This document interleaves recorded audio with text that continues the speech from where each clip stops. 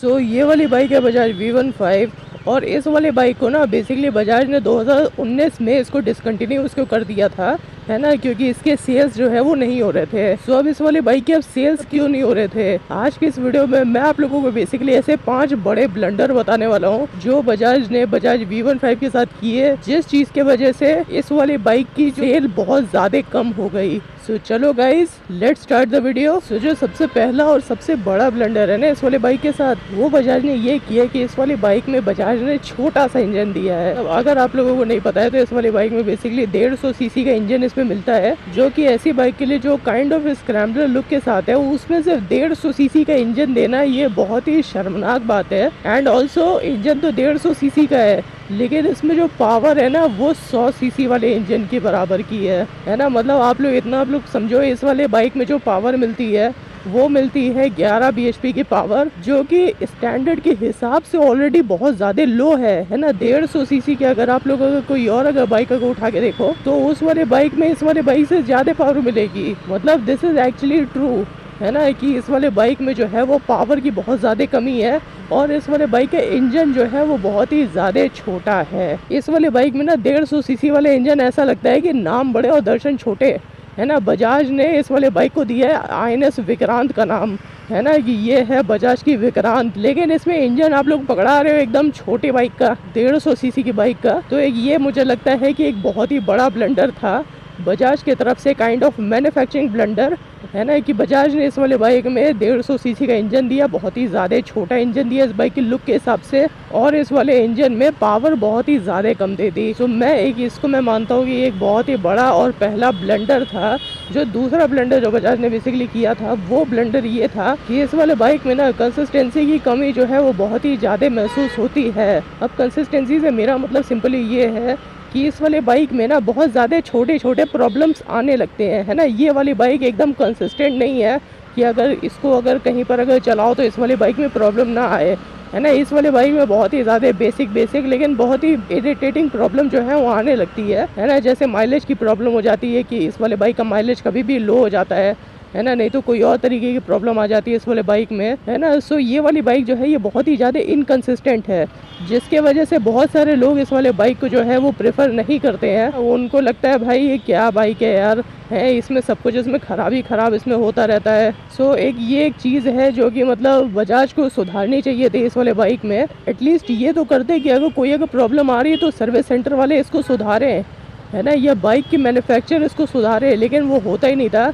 है ना, जिसकी वजह से इस वाले बाइक के जो है वो नेगेटिव रिव्यूज़ बनने लगे। ऑब्वियसली अब होता है ना माउथ टू माउथ भी वर्क करता है है ना, कि कोई इंसान कुछ अगर नेगेटिव बोलता है किसी चीज़ के बारे में तो वो चीज़ प्रसिद्ध हो जाती है कि ये जो चीज़ है, ये थोड़ी सी नेगेटिव है है ना, वही काम इस बाइक के साथ भी हुआ। जिन जिन लोगों ने इस वाले बाइक को ख़रीदा, वो लोग बेसिकली बताने लगे कि इस वाले बाइक में ये प्रॉब्लम है, वो प्रॉब्लम है, इसमें वाइब्रेशन बहुत ज़्यादा है। सो इस वजह से इस वाले बाइक की जो सेल्स है वो बहुत ही ज़्यादा कम हो गई थी है ना जिसके वजह से बजाज को बेसिकली डिसकंटिन्यू करना पड़ा। सो so, ये था इस वाली बाइक में बेसिकली बजाज की तरफ़ से दूसरा ब्लेंडर अभी हम लोग चलते हैं ब्लेंडर नंबर थ्री पे। अब जो ब्लेंडर नंबर थ्री है ना ये काइंड ऑफ़ बजाज के मार्केटिंग टीम की वजह से है। हालाँकि बजाज ने आई विक्रांत का तो नाम एकदम बखूबी इस्तेमाल किया कि इस वाले बाइक को खरीदोगे तो नेशनलिस्ट बन जाओगे। लेकिन मार्केटिंग में एक ऐसा एक ब्लेंडर किया जिस ब्लेंडर के वजह से ये वाली बाइक जो है नहीं बिक पाई। और वो वाला ब्लेंडर है कि बजाज ने अपने टारगेट ऑडियंस जो होती है ना उसको बखूबी उसको नहीं चुना।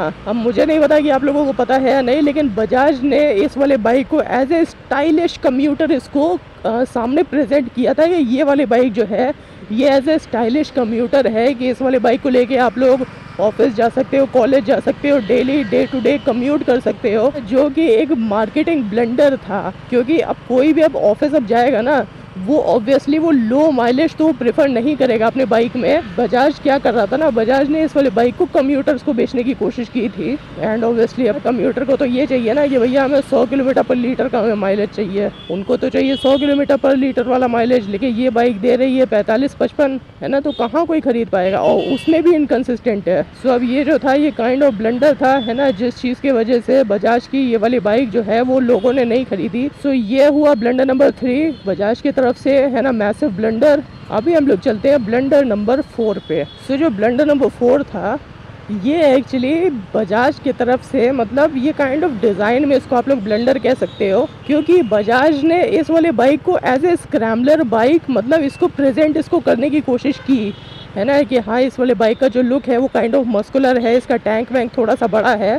लेकिन बजाज को पता नहीं क्या सनक हुई कि बजाज ने इसके आगे की जो हेडलाइट है ना वो कम्यूटर वाली दे दी। मतलब आप लोग ऐसा समझो, इस वाली बाइक की जो डिज़ाइन है ना, वो पीछे से तो वो बाइक एंथुजियस्ट वालों के लिए है, लेकिन आगे से कम्यूटर वालों के लिए है। तो डिज़ाइन में ही बेसिकली इनकन्सिस्टेंसी है, क्योंकि बाइक देखने में सामने से ये डिस्कवर की याद दिलाती है, लेकिन पीछे से बाइक एंथुजियस्ट वाला है। मतलब काइंड ऑफ़ स्क्रैम्बलर बाइक की तरह है।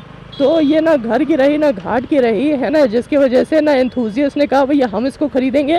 और ना ही कम्प्यूटर वालों ने कहा कि हम इसको खरीदेंगे। सो अब ये ब्लेंडर ही माना जा सकता है। इसको और क्या इसको माना माना जा सकता है भाई? सो अब ये तो हो गया ब्लेंडर नंबर फोर अभी हम लोग चलते हैं ब्लेंडर नंबर फाइव पे। सो अब जो ब्लेंडर नंबर फाइव है ना वो ब्लेंडर ये है कि बजाज ने इस वाले बाइक का कोई भी अपडेटेड मॉडल निकाला ही नहीं कभी। लोगों को कोई ऐसा कोई ऑप्शन दिया ही नहीं, है ना, जिसकी वजह से लोग इस वाले बाइक को खरीदते हैं। ये वाली बाइक जो है, ये 2016 में लॉन्च हुई थी, है ना बी एस थ्री मॉडल में, लेकिन 2017 में बी एस फोर मॉडल में लॉन्च हुई, एकदम सेम टू सेम बाइक है ना? ना ही कोई चेंज ना ही कोई क्रिटिसिज्म एक्सेप्ट किया बजाज ने, है ना कि ये सब इंस्ट्रूमेंट क्लस्टर क्लस्टर इसको अगर चेंज कर देते बजाज ने कोई भी क्रिटिसिज्म नहीं लिया। बजाज ने 2016 में इस वाली बाइक को लॉन्च किया और 2017 में एज इट इज़ लॉन्च कर दिया।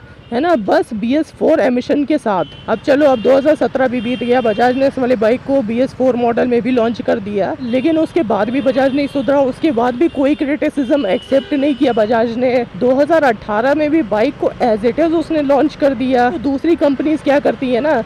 वो या तो नया कलर निकाल देती हैं। है ना? नहीं तो कुछ स्टिकर विस्टिकर कुछ चेंज कर देती है, नहीं तो बाइक में कुछ ऐसा कुछ चेंज करती है क्रिटिसिज्म को देखते हुए कि वो वाली बाइक जो है वो काइंड ऑफ़ अलग लगने लगती है है ना? लेकिन बजाज ने क्या किया? बजाज हर साल एक ही बाइक को एज इट इज़ लॉन्च करता चला गया एज एफ़ की बजाज को अपने ऑडियंस की कोई परवाह ही नहीं है है ना? बिना परवाह के बजाज ने हर साल बेसिकली सेम मॉडल को ऐसी प्रेजेंट कर दिया कि लो भैया, यही है जो है है ना? इससे बेस्ट हम कर ही नहीं सकते हैं। नहीं तो अगर बजाज अगर चाहता तो 2016 में जो बजाज वी वन फाइव को जो क्रिटिसिज्म मिला था, है ना, उसमें थोड़ा सा उसमें बदलाव करता, है ना क्रिटिसिज्म को ध्यान में रखता और थोड़ा सा बाइक में चेंज करता।